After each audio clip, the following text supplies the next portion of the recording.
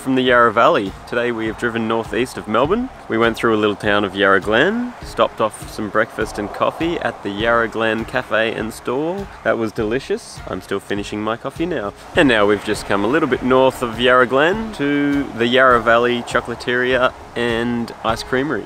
Views for days. Let's go try some deliciousness.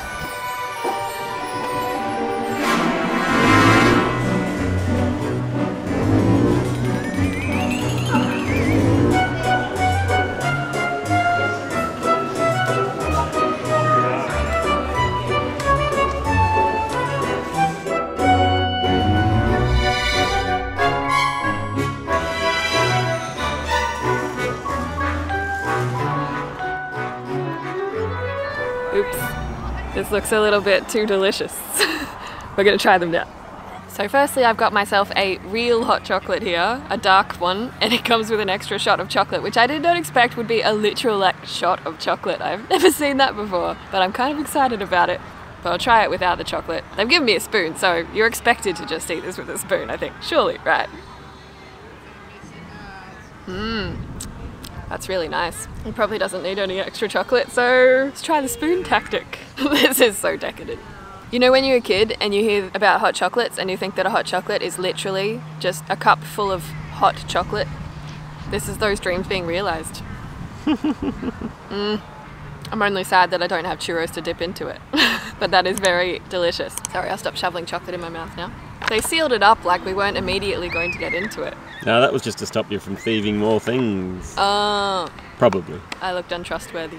We also got a little box full of handcrafted truffles. There's a little booklet here describing all of them so that you can remember what you bought and match it up because they all look different. So what did we get? We got Irish coffee, limoncello shot, strawberry, pina colada, whiskey dream, and? Lime. And lime, zingy lime. Zingy. Zingy zesty lime. Which one should we try? Uh, well, you should try one of the ones that you might like. All right. Well, Irish coffee was my first instinct, so I'm going to try the Irish coffee one. Mmm. Has anyone in the history of the world ever had a bad truffle? But this is a delicious truffle. Premium 73% dark ganache infused with locally roasted coffee and whiskey and milk chocolate. Coffee and whiskey and ganache. You can't go wrong. Did you want to try one? Oh, all right.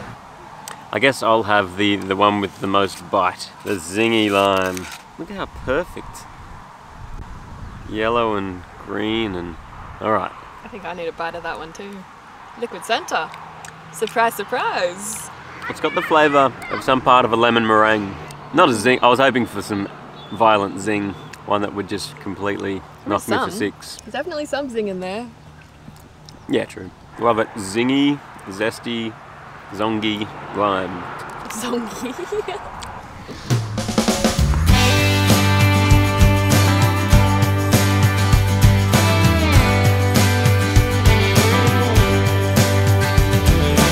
Established 83 like me. Maybe on the same day. Imagine that.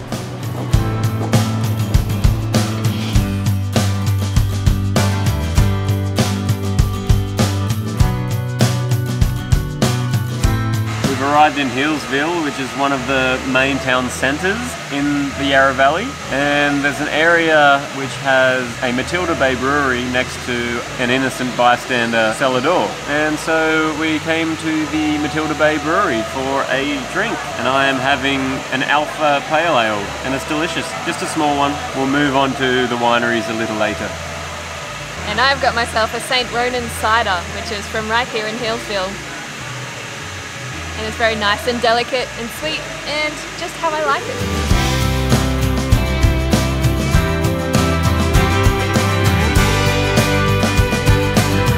Should we check out some vineyards? Okay. a, a vineyard?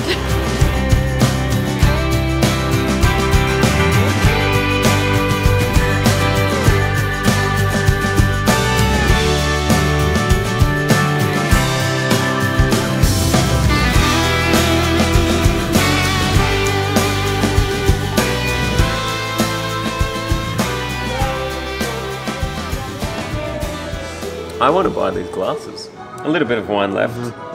it's hard to leave some in the glass. Mm. Look at the legs on that. Just had a lovely visit to Dominique Portet Winery near Healesville. Yarra Valley is a very well known wine area in Victoria or in the country. Another one that came on recommendation from someone I know. It's also nice being in this area on a weekday when it's not crowded because you just get the whole place to yourself. So now we might keep heading in the Dandenong Ranges direction, see if we can find some views perhaps. I've said some good things about Queensland and rainforests, but Victoria is doing it marvellously as well. We've come to a place called Burke's Lookout. It's highly rated on Google. We can't see it yet, just reached the car park. Got a little walking track that's delightful. We'll see if we can see Melbourne from it.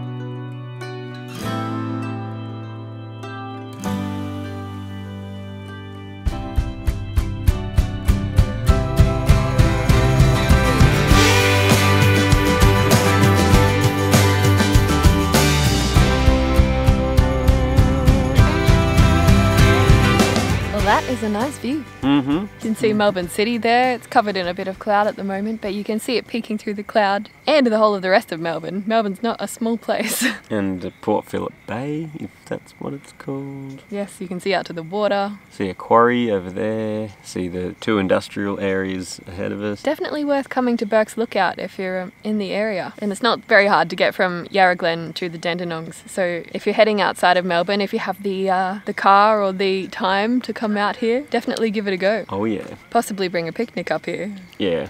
This is the place for a picnic for sure. It's a good place to hang out, that's for sure. Mm. There's more exploring to be done. Mm, where to next?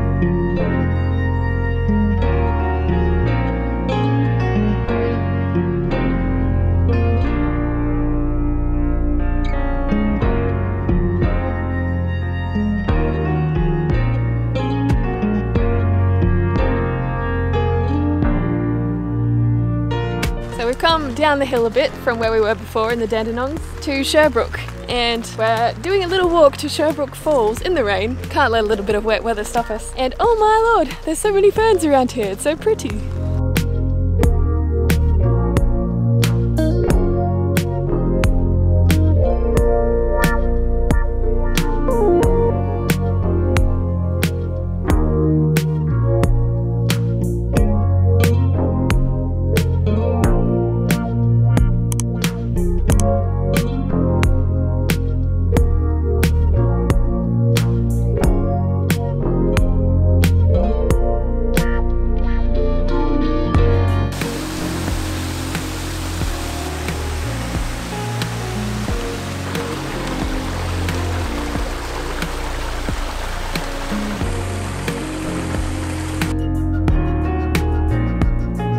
Made it to the falls! And it's very pretty here. So green and delicious looking. Mm-hmm. It's amazing. My glasses are fogging up.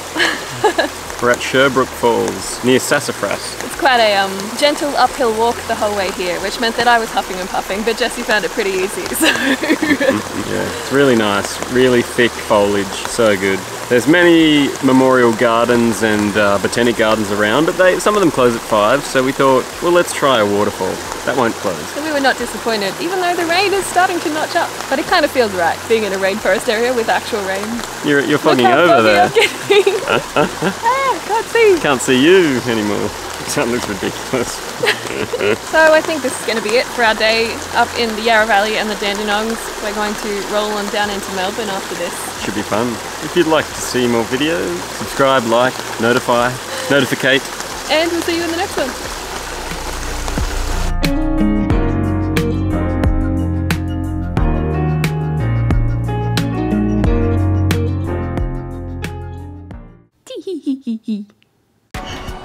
Blending in with his surroundings. Can you see me? oh no. Rubbing it together gets rid of it, right? Are you getting the lemon meringue thing? Not the meringue part, but the um. The lemon part. the soft, squelchy, fat cloud looking bit. All right, I'm gonna, I'm gonna add some extra chocolate. I'm doing it.